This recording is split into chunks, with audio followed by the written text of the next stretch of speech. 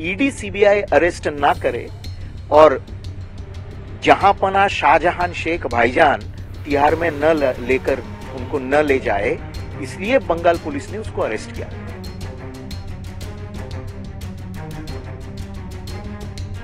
पचवानवे पचवानवे दिन 55 डेज़ लग गया उनको गिरफ़्तार करने में।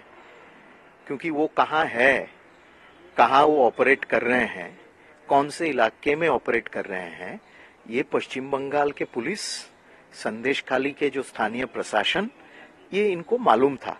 और ये सब जानते हैं। संदेश खाली के जो महिला है, जो पीड़ित एकदम त्रासित जो महिला है, वो बार बार कह रहे हैं कि अगर पुलिस अरेस्ट नहीं कर रहे हैं, अगर पुलिस कहता है कि शाहजहां शेख कहाँ है, उनको मालूम नहीं है, वो हमें बताए। हम दो मिनट में शाहजहां शेख कहाँ छुपा हुआ है, हम उनको पुलिस के हाथ सौंप देंगे। और आग अगर आप फुटेज देखते हैं, पुलिस के डीजी महानिर्देशक राजीव कुमार जाते हैं, साउथ बंगाल रेंज के एडीजी सुप्रतिम सरकार जाते हैं वहाँ, स्थानीय पुलिस और प्रशासन जो है, ये आम जनता को धमकाने में और डराने में लगे थे।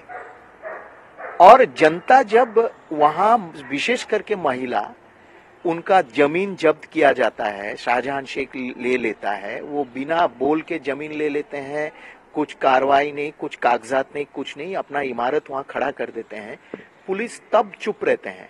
और ये अभी डेरिक ओब्रायन को ये प्रश्न करना चाहिए कि महिला वहाँ जब कहते हैं जाकर पुलिस के यहाँ एफआईआर दर्ज करने के लिए जाते हैं, पुलिस क्या कहते हैं उनको? अरे ये एफआईआर एफआईआर, छोड़िए, भाईजान से जाकर थोड़ा आप लोग सुलटा लीजिए विषय, बात कर लीजिए विषय।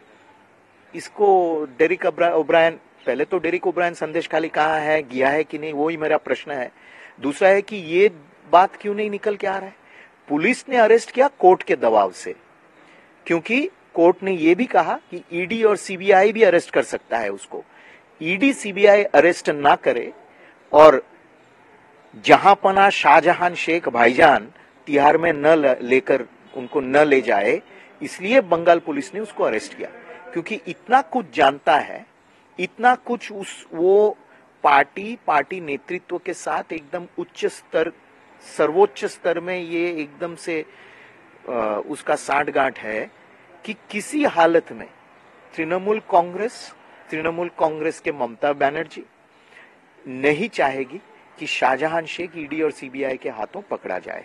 हालाँकि सर कलकत्ता हाईकोर्ट ने जो एट्रोसिटी के मामले में किसी भी तरह की सिंपैथी नहीं होनी चाहिए। कैसे देखते एकदम एकदम। तो यही बात है ना, कि पुलिस ने अरेस्ट किया, पर जो मामला जिस सेक्शन के अंतर्गत उसके खिलाफ दायर किया गया, दर्ज किया गया, उसमें लैंड ग्रैबिंग नहीं है, उसमें रेप मोलेस्टेशन नहीं है। सबसे ऐसा ऐसा दर्ज किया गया, ऐसे ऐसे सेक्शन के अंतर्गत, जो कि एकदम से बहुत ही बहुत सॉफ्ट सॉफ्ट सेक्शंस हैं। तो ये प्रश्न तृणमूल कांग्रेस या पश्चिम बंगाल पुलिस इसका उत्तर देना। क्योंकि वहाँ महिलाएँ भड़क गए विशेष करके दो कारण के लिए। एक तो है गरीब, एकदम गरीब तबके के लोगों का वहाँ कृषक जो है, उनका ज़मीन हड़पा है और सौ सौ एकड़ ज़मीन कई लोगों का बर्बाद किया है वो हड़प के। दूसरा है महिलाओं के ऊपर अत्याचार। महिलाओं को शोषण करना ये क्या है। उसके उसके सारा सेक्शंस क्यों नहीं डाला? ये डेरिक ओब्रायन उसका उत्तर दें होम मिनिस्टर तो है ममता बनर्जी होम मिनिस्टर है तो ये रिप्लाई क्यों नहीं दिया? हालाँकि दो हज़ार रूपए हो जाएगा। क्या वाकई आप लोग कुछ ऐसा करने नहीं उसको कैसे मालूम है?